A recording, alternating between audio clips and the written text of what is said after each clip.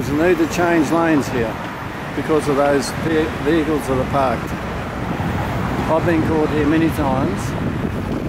Parking arrangements have to be changed.